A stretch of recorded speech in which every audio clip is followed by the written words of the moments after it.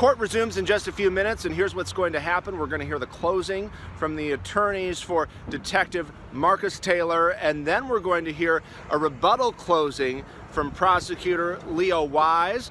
Then it will head to the jury, a jury of 12, nine women, three men.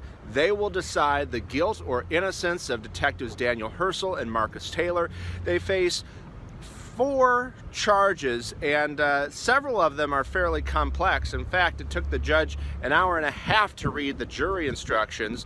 Uh, RICO violations, racketeering, conspiracy, uh, robbery, and overtime fraud are wrapped up into all of that, and also using uh, a firearm in the commission of a violent crime.